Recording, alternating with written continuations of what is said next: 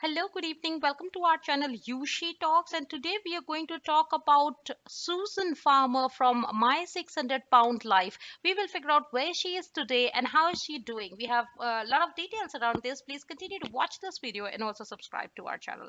Let's get started we all know that my 600 pound life is about uh, the journey of several obese people who try to lose weight and avoid further health complications. It all happens under the careful guidance and supervision of dr now. The participants follow a strict diet participate in various exercise regimens to shed some uh, designated amount of pounds before they get approved for the surgery. We have also seen in most of the cases uh, the uh, you know they uh, they don't don't end up getting the surgery. It ends up tragically. However, there are a few success stories in TLC's show. These these stories is, uh, are about people who manage to shed that extra weight and get the surgery and uh, you know turn are able to turn their lives around.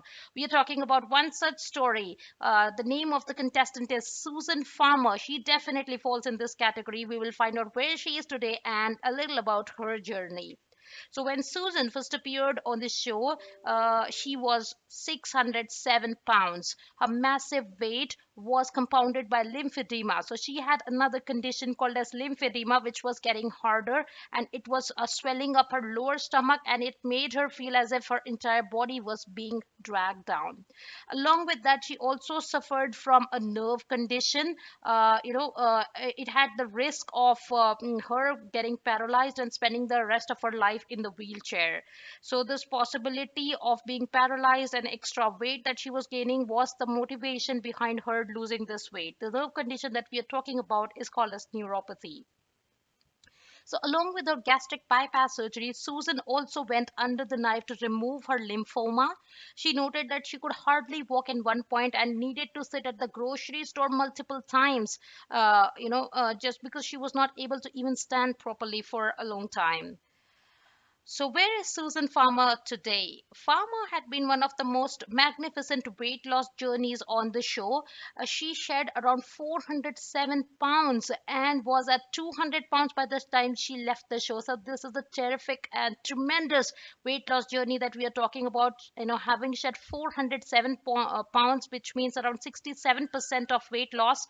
She managed to shed over two-thirds of her peak body weight. Currently, she lives in Texas and has held a steady job since 2002. She continues to be on her journey to lose weight, and you know we have pictures that shows that uh, the tremendous weight that she has lost and uh, what a motivation she is.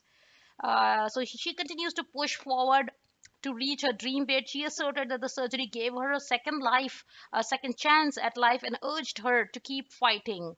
So that's all we have in today's video. Do continue to watch the space for more related information. And thanks for watching me today. You have a wonderful day ahead. Bye bye.